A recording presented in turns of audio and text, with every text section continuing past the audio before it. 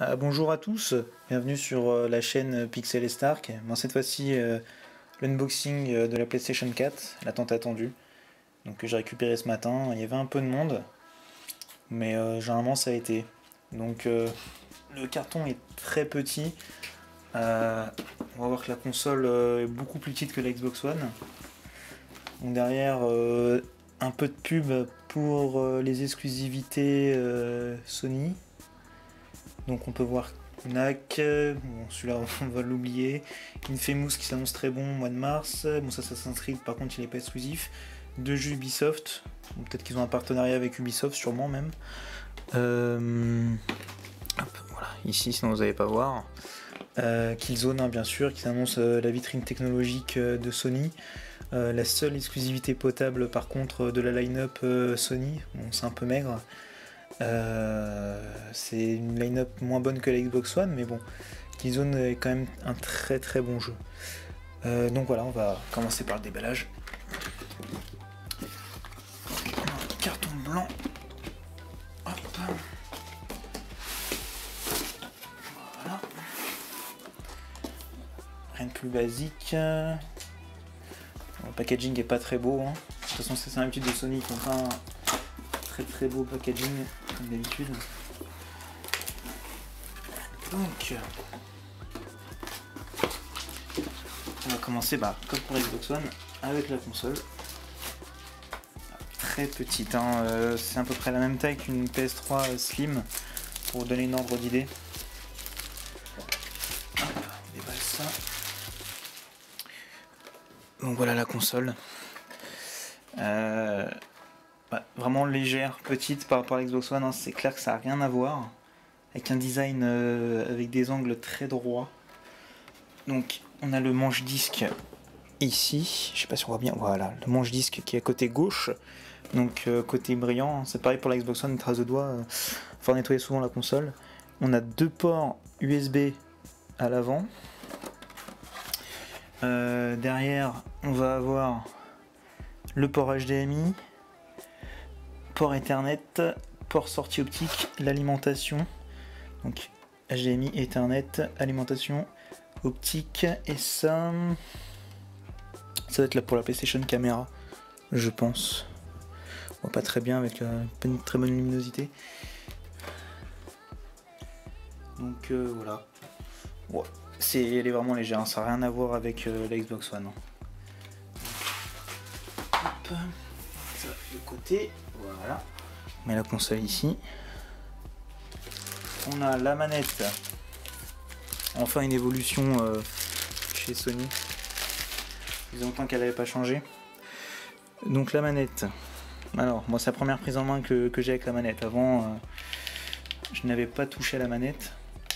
Donc elle est un peu plus grande que la hum, DualShock 3. Elle se prend bien en main. On a un revêtement euh, anti-sudation euh, sur les côtés. Ça c'est pratique.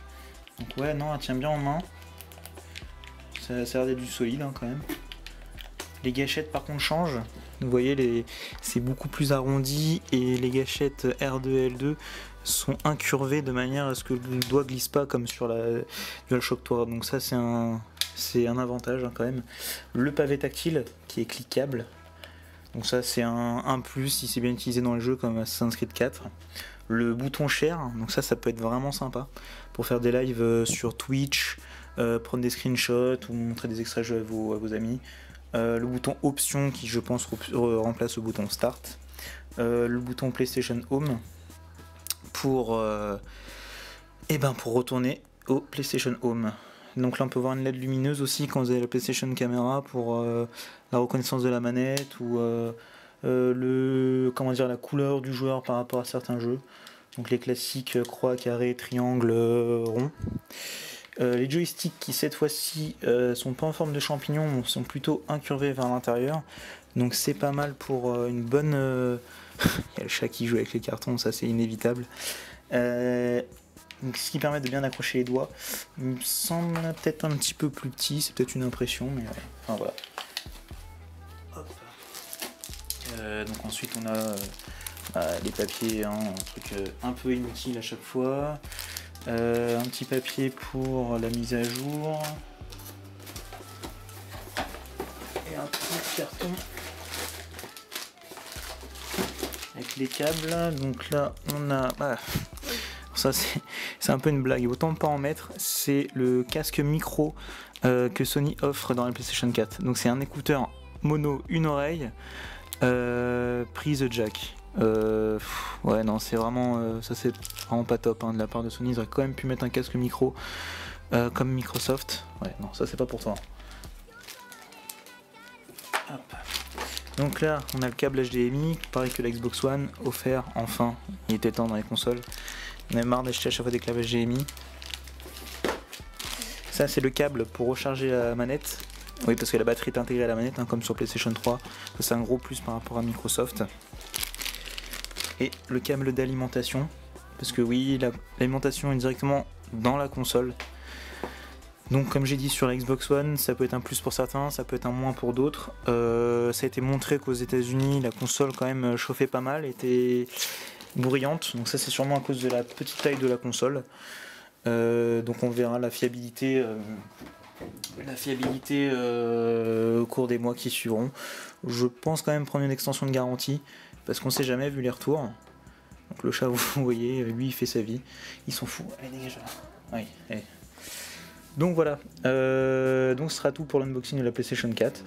Euh, voilà, donc euh, je ferai des vidéos très prochainement. par contre, petit problème aussi avec la PlayStation 4, c'est vu qu'il y a encore l'HDCP sur la console, il va falloir que je bidouille un petit peu pour réussir à faire des vidéos de l'interface ou des jeux. Donc je verrai comment je me débrouille, je vous promets rien. donc voilà. Allez, à plus